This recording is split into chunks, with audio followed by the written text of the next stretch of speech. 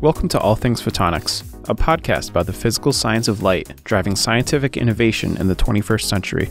I'm Joel Williams, Associate Editor at Photonics Media. Join us as we explore the latest trends in optics, lasers, microscopy, and spectroscopy. Each episode, you'll hear from leading voices from across the photonics landscape, brought to you by Photonics Media.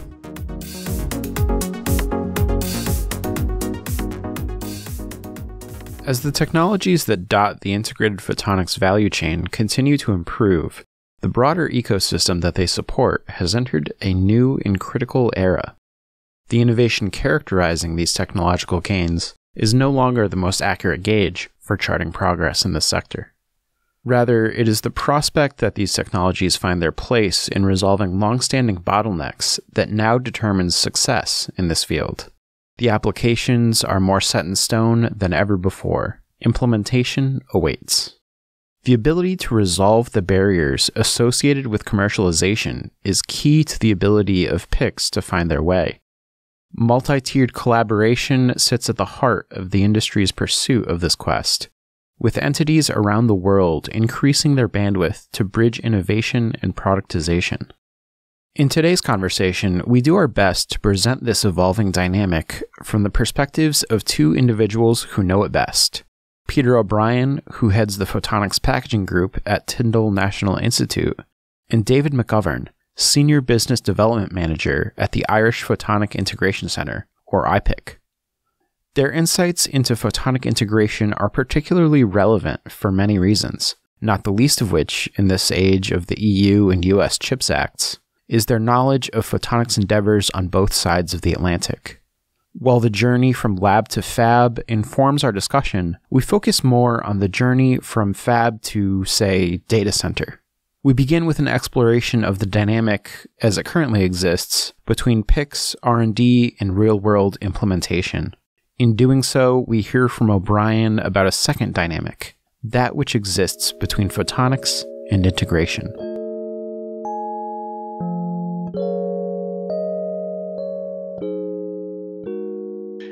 Aside from Peter, your, luminary status in the industry, uh, our theme this season sort of uh, is, is, guided by this interplay between uh, high-level R&D and photonics and, and productization or commercialization. Um, and in the integrated photonics space, this is really a nuanced dynamic. And from the platform, Peter, that your position provides, can you sort of paint a picture of what the dynamic looks like in PICs specifically right now? Um, so, sorry, just elaborate on that question a little bit more. So, yeah, it, it's this. You know, PICs is is a new technology, but it's it's clearly a very powerful one. How do we take yeah. that from that understanding and put that into product and commercialization? I'm just hoping for you to paint a picture of that dynamic right now. Yeah, yeah, it's actually quite an interesting dynamic because for a number of reasons, we'll probably kind of elaborate more on um, in this conversation. But one of the big drivers at the moment that really is being motivated a lot by things like the CHIPS Act, both here in Europe and also in the US, is this strong linkage with microelectronics and semiconductors in general. So integrated photonics, I suppose there's two aspects to this. One is photonics, and the other aspect is integration. And integration of semiconductors has been with us for many, many years, and it's a multi-billion, trillion dollar type industry. So you have this enormous expertise, enormous you know, investments and, and great productization of uh, semiconductor microelectronics principally. So, you know, we're starting to see much more convergence of the photonics aspect, that first part I mentioned, with microelectronics and integration in general. So there's really a huge opportunity there. And that hasn't really been the case up until recently. And I think initiatives like the CHIPS Act has really kind of brought this to our attention. Um, and you, you're beginning to see some of the major foundries because one of the challenges historically of the last say 10 years has been how do we kind of move from know, low level r&d um, low trl technology readiness levels um, to uh, mass manufacture? Because the, the real opportunity here for integrated photonics is scaling up addressing mass markets in communications healthcare you know, all those kind of uh, scalable markets. And, and as I say, the challenge has been that scaling. Well, microelectronics does that really, really well. And there's a lot of commonality in the fabrication, in the equipment, and just the general kind of process flows and disciplines that are that are already well established. So I would say the most exciting kind of uh, developments more recently have been around this overlap or merger or um, kind of synergies between microelectronics and photonics. And we're starting to see some of those terms being more widely used, more widely accepted by photonics people. Things like chiplets, um, you know, integration with electronics in all its different forms. Um, so I would say, you know, without focusing on too many things, I think that's probably been the biggest dynamic. Um, and of course, we have a lot of workforce in the microelectronics area. So um, we can, and that's always been a challenge. We, we, we recognize that here at Tyndall, for example, getting experienced people um, has always been a challenge, workforce development. Well, we have a really experienced workforce out there in microelectronics. So there's so many reasons why there's massive benefits to um, this type of synergy, this type of collaboration. And I think that's that's been really accelerated over the over the recent few years. Uh, and David, I promise I'll bring you in here in a second, but I want to build on something, uh, Peter, that you brought up, uh, and it's this uh, conflation, I guess, between um, mm-hmm. microelectronics, chips, uh, and and semiconductor. Just conflation on the verbiage side. You know, where does integrated photonics stop? Where do microelectronics begin? And certainly on like the metrology side, for instance, there's some uniquely photonic activity going mm-hmm. on, uh, and that stems a lot from the CHIPS Act. I, is there a, a benefit to, to merging or conflating microelectronics and photonics, or is there still a need to sort of keep those two disciplines separate as far as advancing the technology goes? Well, there's obviously diff- different uh, aspects. You know, you have physical differences um, between the optical and the electrical domain, but I'll give you one very nice example, and this is really an important area, is like AI. So one of the big challenges with AI is the, the amount of data that we have to bring to the processor core. Um, and the challenge with electronics alone is that it has capacity limits. So I heard a great term, the edge of the chip is not sufficient for the core or for the middle. So essentially what that means is the amount, the ability to bring data from the edge of the, of the electronic chip is limited. Photonics can address that limitation because it can handle much more data in terms of you know, communication between the outside uh, and the internal chip world.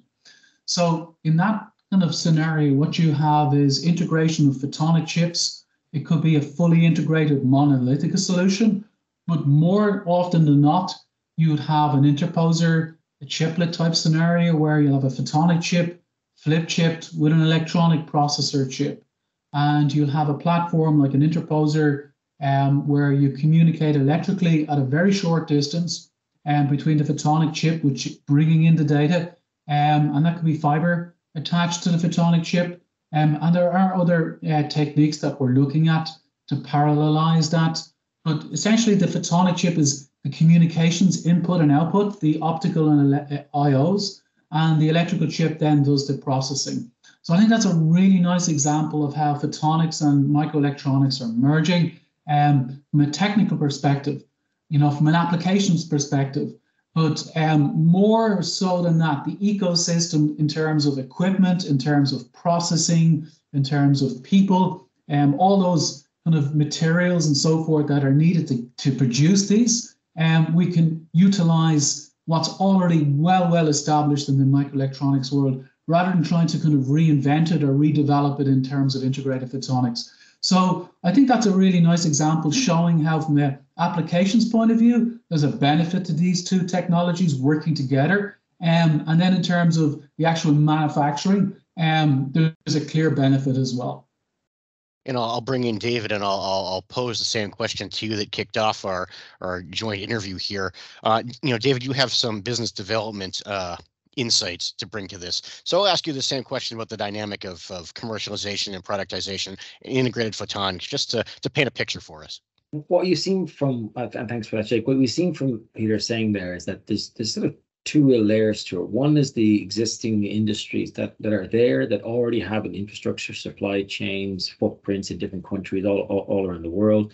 And the CHIPS Act in Europe is driving that towards uh, investment here. And what you see, or, what's clear from what we see from our existing industry cohort, is that the the industry that are there now, those large industries, semiconductor industries, they're investing in these technologies to allow scale up of uh, photonics, integrated photonics into their system. That's clear as happening. They see there's a demand coming. And on the other side, when we're dealing with industry partners and potential uh, collaborations, there's a whole raft of new and developing companies from Europe and from the US stepping into the breach here now to help us scale up in, in packaging, or in other areas where it's typically been a, a slower or more costly process uh, to try and get from a, a large integrated or in, in, in a in a, in, a in a relative sense, a large integrated area of photonics into the smaller and smaller towards the chip. I think what you see most of all from from us is that not only is it that centers like ourselves, uh, IPIC, um, and SFI are funding that, uh, and other, and other funding agencies that are driving towards getting both the existing infrastructure to, to keep investing in this area because they, they see it and to allow companies to step into the breach. And that's what we we we seem to be crossing over with a lot of the organizations now.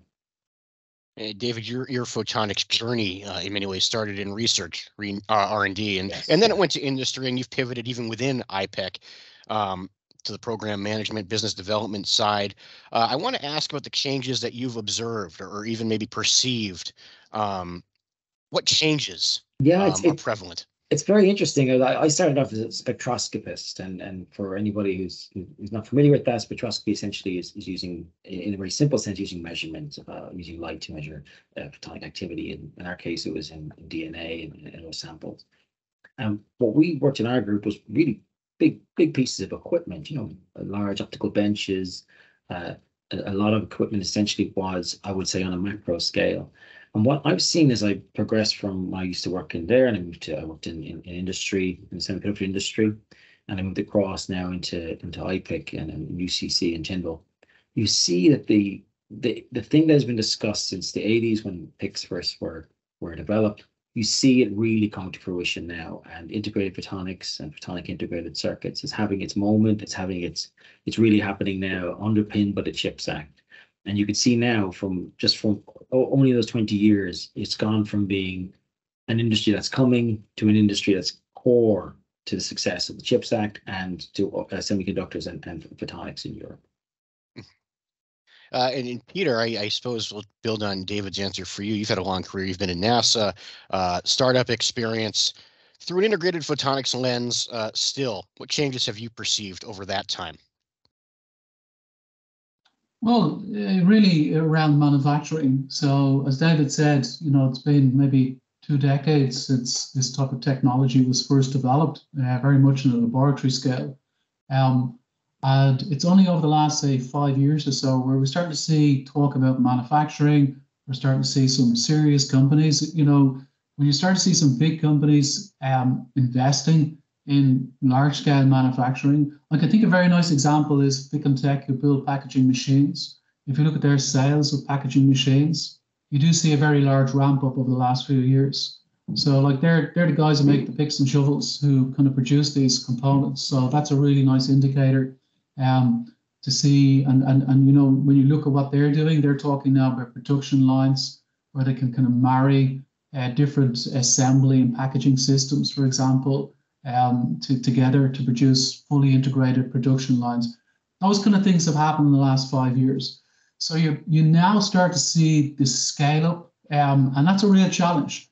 And that's where I'll go back to my original point. Microelectronics has all that expertise, the understanding of how you scale um, in terms of the actual wafer manufacturing. I think the big challenge now is packaging because that's area obviously I work in, and uh, uh, of course I'd say that. But you know, packaging does um, consume the majority of cost, um, and that's always been an issue. So historically, you're over half the price of, of, a, of a production or half the cost would be around packaging. The drive is to try and bring that down. Um, microelectronics generally is in the order of say 10, 20% packaging cost. And as I said, photonics has always been over the integrated photonics, always over the half halfway point, 50% plus. So we're driving towards bringing that down. And unless we can do that, um, that's going to be a real challenge to kind of large scale uptake. And I do believe we have programs where we're working on things like um, ball grid array, wafer level, surface mount packaging, and they're, they're microelectronic approaches. So using the kind of expertise and understanding that has been already developed in microelectronics will help address some of those challenges. And again, they've only really started to kick in in the last five years. So wafer level um, packaging, um, using um, surface mount type packaging approaches, because historically photonics has been driven by very expensive solutions like literally gold gold boxes. We call them gold boxes, um, butterflies style packages. Really, really expensive, impossible to scale to very large volumes.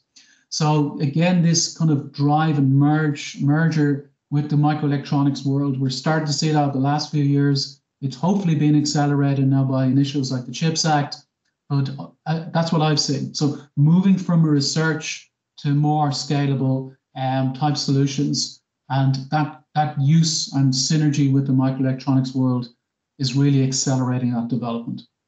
So, so certainly there are a few things going on in in the mm. uh, so to speak. Mm. You have uh, not mm. just scaling and packaging; you have standardization. A lot of uh, mm-hmm. drivers, I guess, a lot of undertakings. Yeah. Uh, and Peter, you've you've been in this space now for, I yeah. dare I say, as long as it's been a space in many ways. Um, and as this technology continues to ascend, um, in terms of scaling and, and really just moving towards commercialization. Um, th- there needs to be some sort of guidance for for businesses in the space. So I'm curious what um, insight, what guidance you might have for those in the um, companies, the individuals who are driving this technology forward at this point. Well, the discipline is very important because generally photonics can be a little bit custom, well, a big big custom, um, and in some sense a little bit disorganized. And that's a real challenge for people coming into this integrated photonics kind of world. Because if you look at the microelectronics world, it's extremely organized, it's standardized, it's very difficult to customize anything. So, really, we have to get people to be more aware of these standardized approaches. I'm not saying formal standards, but things like PDKs, process design kits in foundries, um, they're, they're critical to making things cost effective and scalable. Similarly, in packaging, we're developing what we call ADKs, assembly design kits. And these are essentially software platforms which are, you know, in uh, code like uh, Synopsys, for example. We're very closely with Synopsys in our European pilot line PIXAPP. And that really aids people to kind of follow design rules. Um, so following the disciplines that are already established or have been well established in the microelectronics world, we're doing we want to do more and more of that so engineers um, coming into this new domain, because you know we're going to start to see people who are not familiar with photonics but are really interested in the application of that technology to make their products. We have to make lower the barrier for those people, and the only way we can do do that is by developing these types of tools and um, EDA tools, so electronic design tools, um, to make them more accessible and easier to use and much more menu driven type platforms. And there, that's one of the big things we're starting to do. We've been doing it for a number of years in our pilot line, and I think you'll start to see more and more of that. And it's really lowering the barrier for especially new entrants into this area. Uh, I'll also ask you, Peter. We've had a couple opportunities to to introduce quantum to the conversation, mm. um, and increasingly, quantum integration is becoming really fundamental to this, um, you know, thousand foot dialogue we're having here. Yeah. Uh, just curious to get your thoughts on what's happening on quantum integration right now. Yeah, well, I suppose the one thing that stands out like a sore thumb in quantum, from terms of a lot of the uh, packaging in particular, is the cryogenic requirements. So, as I understand it, um, there are very demanding requirements for quantum, uh, very low, very high coupling efficiencies, very low loss. Um, but that needs to be done in, a, in an environment that's extremely challenging. So um, some of the numbers that are being quoted, like you know, 0.1 dB loss, um, for example, for fiber attached, that's that's really really challenging number. Like to to achieve that repeatably is something exceptional. Like that's not even achievable today at room temperature, um, especially for you know silicon photonics, for example. So the challenges associated with the developing these types of future quantum products, especially in these very demanding environments, cryogenic, is something that we need to look at.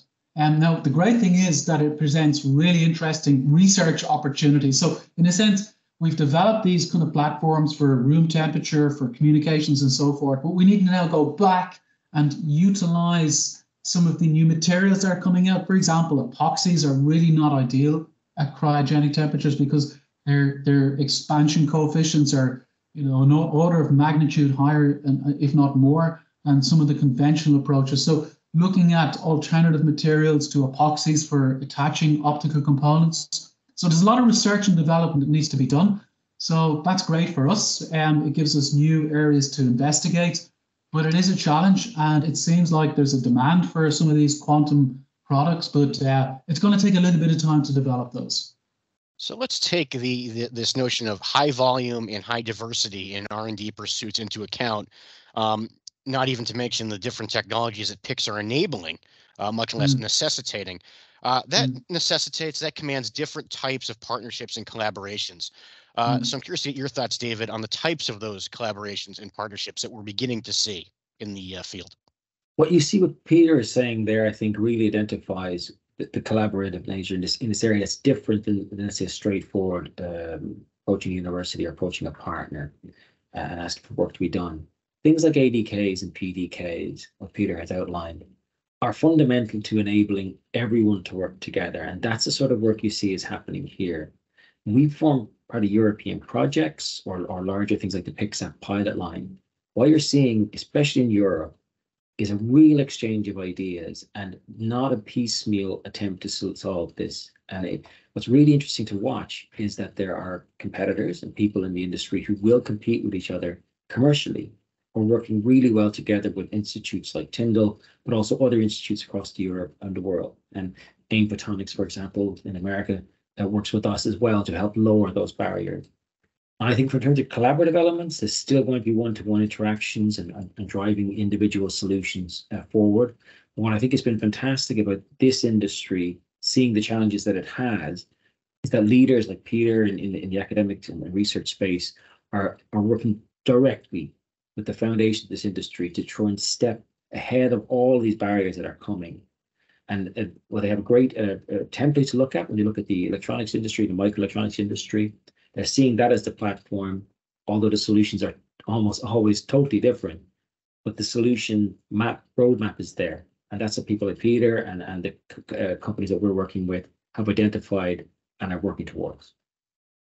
Uh, building on that, yeah, certainly from IPIC itself, but, but you have PIXAPP and you have Medphab, uh, a lot of support there. And, you, you, now with Medphab, especially, you're bringing in a, a customer centric approach.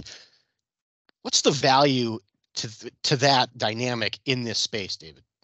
So in, in I'm part of Medphab, and for um, uh, for those unfamiliar familiar with it, is a is a European pilot line for medical devices and photonics. And we started out as, a, as an 18 uh, group uh, collaboration of, of, industry partners, leading research centers, and small uh, companies as well across Europe. And what the big problem with a lot of that these pilot lines are being targeted at is the barrier to entry to get a demo or to low volume manufacturing or in the in the medical device space is really really high. So if you're a small uh, emerging company you need a, a large uh, volume of, of, investment in order to make regulated or, or ISO 13485 uh, regulated devices which is medical device level. And the, this organization was set up to bring in some of the leading members in, in, in the industry together with researchers to try and create a, a, collaborative environment amongst all these partners to allow companies to approach us and at a, at a much more effective cost to be able to make uh, low run or, or even just demo uh, demonstration level around devices.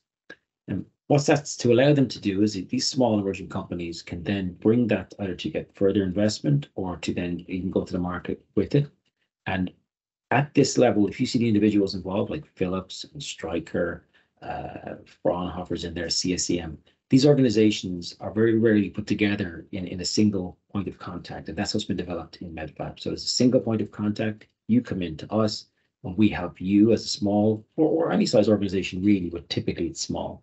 We help connect you to the people who can help you. And I think it's that ease of allowing the business to happen by itself whilst offering the European Union backed uh, uh, support to help those organizations get there. So I think for any small, uh, small or medium enterprises in particular out there, but anybody who wants to get demos made in this space, please just approach uh, Medphab. We'll help connect you to who could be helping in this space.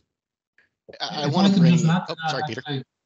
Yeah, I was just sorry. I was just going to add to that because I think a very this collaboration uh, type model is is really important here because um you know use this term the ecosystem it's it's it's very complex and it's very broad so you know designers um the EDA software companies the equipment manufacturers wafer the providers and all that I think a really nice example that has an enormous impact from a European kind of perspective is IMEC. IMEC have this affiliation kind of program where companies, all those different parts of the ecosystem, work together. For example, in IMEC in in in in, uh, in Belgium, and that's proved extremely successful model. And we've been trying to mimic that somewhat um, in terms of integrated photonics, for example, with our pilot liner PixApp, where we bring people on site. So we have um, at Tyndall, we have ficonTEC, that German uh, equipment provider I mentioned. We also have Celleprint. We also have some end users. and um, they come and go, um, but we have foundational partners, um, the, as I mentioned, the equipment companies. So having kind of more of those, I think, is essential, rather than people working kind of independently, as David called it, piecemeal, and um, doing different things, um, and uh, reinventing the wheel, if you will. So more of these affiliation models are needed. So I think the CHIPS Acts in Europe and the US are addressing that.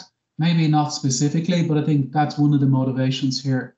So that IMEC type model has proven itself to be extremely successful. We're kind of, in a sense, following that concept, and hopefully there will be more of that, you know, into the future.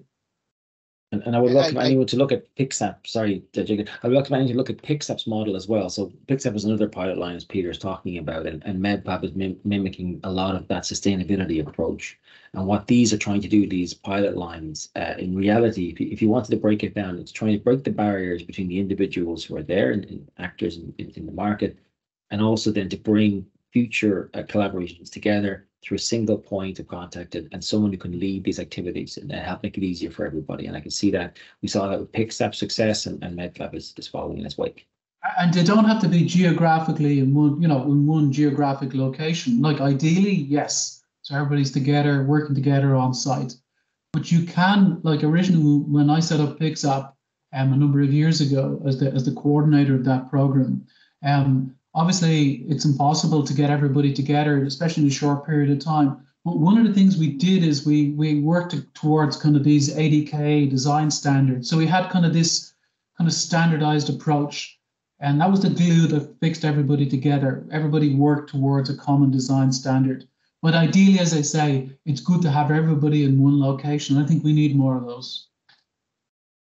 I you know I, I have here a question on my, my cheat sheet about the Dutch model and in many ways and in many circles that is viewed as the gold standard and that obviously envelops IMEC. Um, and, and we've mentioned the the EU Chips Act and the US Chips Act. We've sort of grouped them together and I think that makes a lot of sense. Um, but there, there is a bit of nuance here. And one of the things that's happening in the US, for example, is this development of eight microelectronics commons hubs. So that's eight innovation hubs.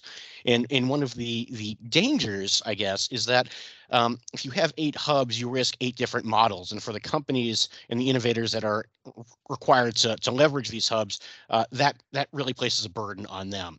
Um, is there more value in mimicking the IMEC model say, or is there value for different types, different models um, in this ecosystem? Well, I think there is value to have, you know, some level of differentiation, but I think that we'll always work towards some common objective, like the principle of um, standardization, PDKs, ADKs, all of those things will should be employed by them all. And they might have different flavors. They might be addressing because this is a very wide domain. So they might be addressing different technological aspects or different parts of the supply chain or a part of the ecosystem. So I can understand that you will have variations and, and, and there's probably a need for that and a value for that. Um, but I do think they should follow certain common themes, you know, as I mentioned, standardization and so forth. But um, you know, this, this is such a large and growing market. I think to kind of focus down and hunker down in one area could be very risky. So I can see the benefits to um, you know having diversity across different um, you know different hubs or whatever whatever the term is used. I, I suppose the elephant um, in the virtual room here is that there isn't an IMEC in the U.S. There's not a, Fraunhofer network. There, there's no Leti. Um, you know the R and D dynamic is is slightly different. That, that's well, worth I, pointing I, out. too. I would shout out for AIM Photonics. I think they've done great work. Like AIM, AIM are not around that long, really, in the grand scheme of things, and I think they've really come up to speed. We work with them, um. So there's a number of people there, David Harame, and there's uh, others, but they have done fantastic work. the The investment has been well used. They are really developing some really fantastic technology. So, you know, I think there's a lot of good happening there. And they're also, you know, investing in packaging and so forth. And they have a very comprehensive PDK.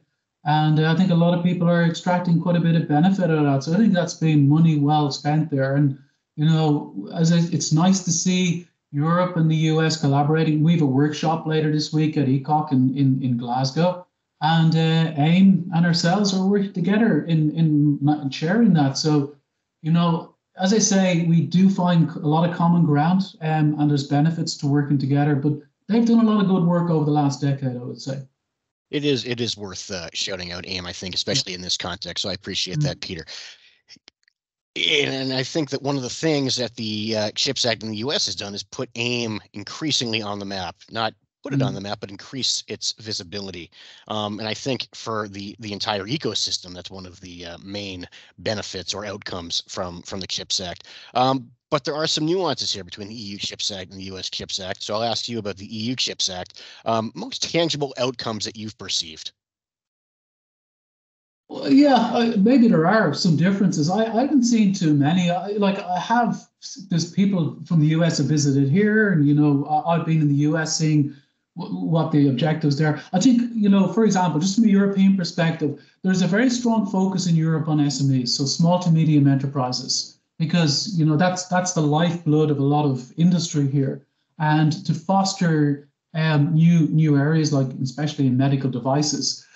Um, it's been difficult for me to speak in detail about what's happening in the US, but just from a European perspective, I mentioned is lowering the barrier. So, uh, you know, not not just photonics experts or microelectronic experts. We're trying to bring in people who are new to this area, maybe with some really good ideas. Like a lot of, I'm, I'm pretty sure in the next five or 10 years, there'll be products developed which we never even considered at this point in time. So things will evolve rapidly. But from a European perspective, there's a really strong focus on small to medium enterprises and helping them grow. And obviously to have some linkage, especially with you know the US, there's a lot of common ground there. Just mention our work with AIM. But um, you know, so that, that's an important driver. We have a, a major program called Photon Hub Europe.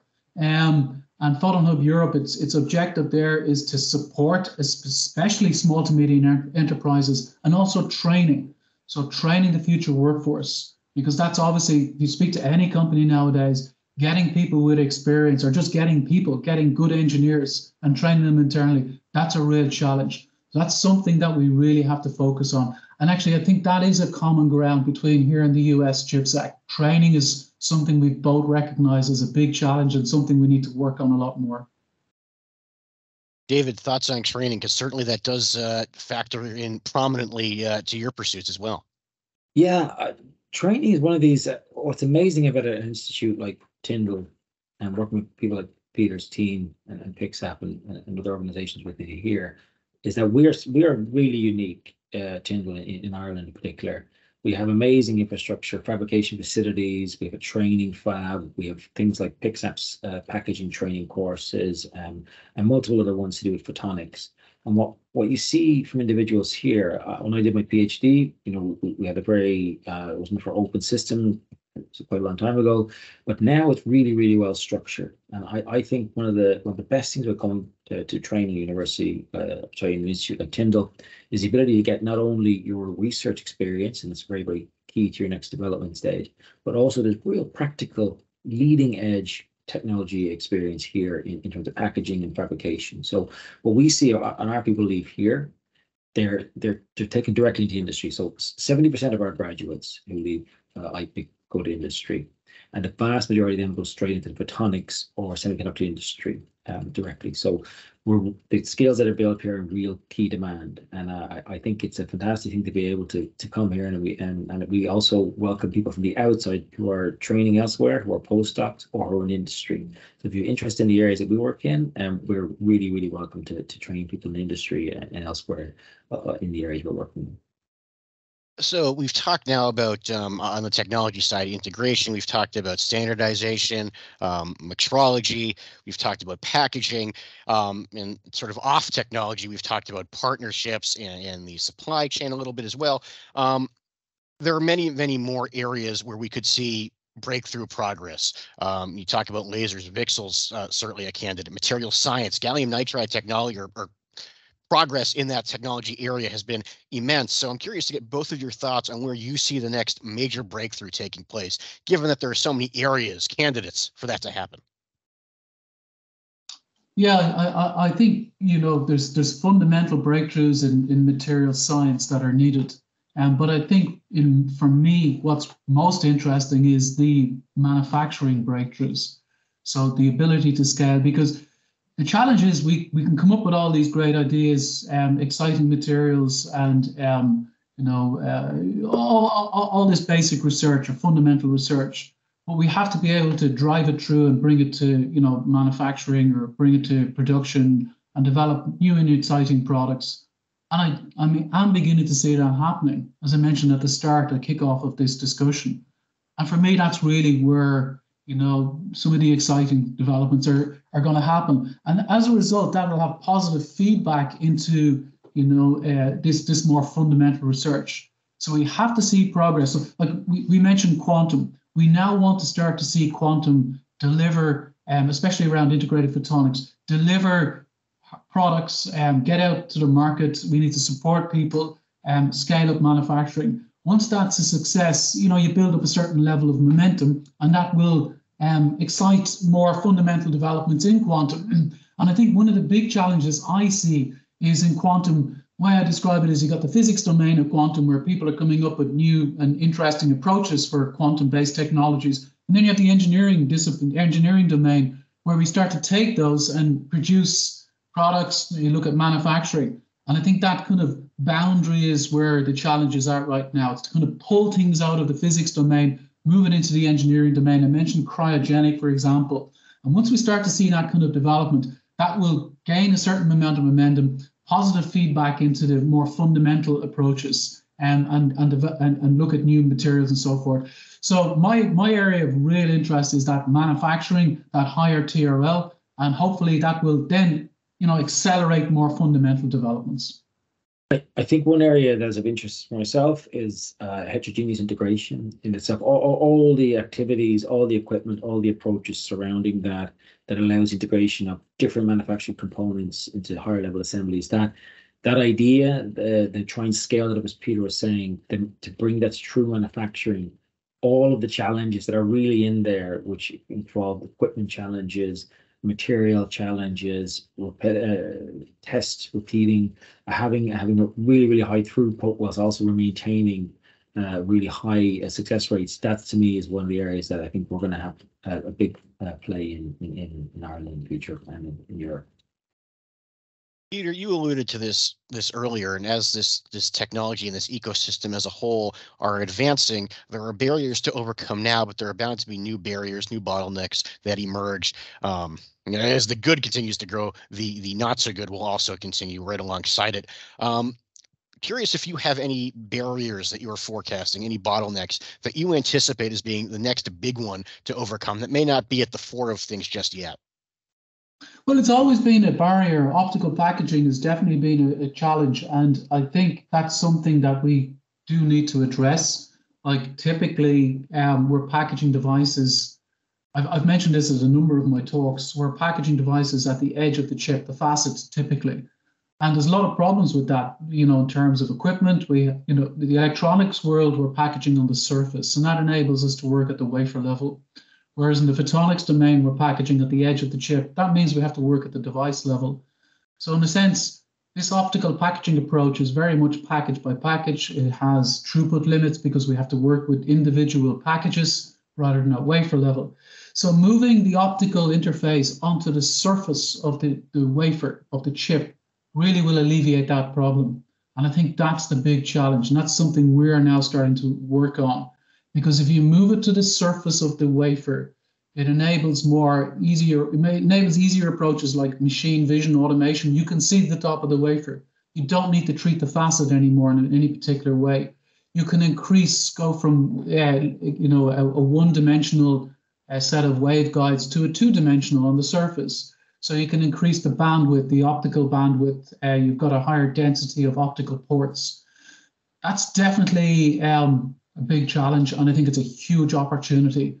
I believe that'll be solved in the next, say, five years or so with a number of approaches like evanescent coupling, um, and there's other approaches using micro micro optics. What we really need is to work more closely with the foundries because historically, you know, the optical integration with with silicon has been a challenge for foundries. So they just want to, you know, just hand over the, the, the wafers, you dice them up or um, and, and package them. We need those foundries to work closer with us to enable that surface level optical packaging. And I think that's going to be a major breakthrough. It'll enable us to move to wafer level um, and, and really start to work at the same type of topology as electrical packaging. You know, so it's on the surface. We use similar materials. We can eliminate epoxies. Um, machine automation will be much easier. So that's really an important challenge in the next couple of years and I'll, I'll, end with this. There are there are good places to exchange ideas. There are great places to exchange ideas and you have a particularly nice platform um, at tyndall IPIC within it. Uh, just thoughts on that? And um, you know if I, I suppose a, uh, a look ahead um, on that front. Yeah i think i think uh, the essence the, the, the you know key for me is collaboration. So um, you know our best work is done in some cases outside our lab. We collaborate with others. Um, now obviously there are issues of confidentiality and so forth. David mentioned companies can work independently, but they can collaborate in areas of common challenge. You know, I mentioned about uh, wafer level packaging, but also things like standardization and PDKs, ADKs. Um, and this type of affiliation kind of model on-site working together. For me, that's the main takeaway message of this discussion today. We need more of that. Um, and I think we've successfully shown how, for example, we work with our collaborators in the US. They're very important to us um, because there's a huge critical mass there. So, um, you know, closer collaboration between Europe um, and the US is really kind of something that really excites me. And I want to do more and more of that. Um, you know, obviously there's there's limits to that. Uh, we have to respect certain confidentiality issues and so forth. But I think that's really, really an important thing to do.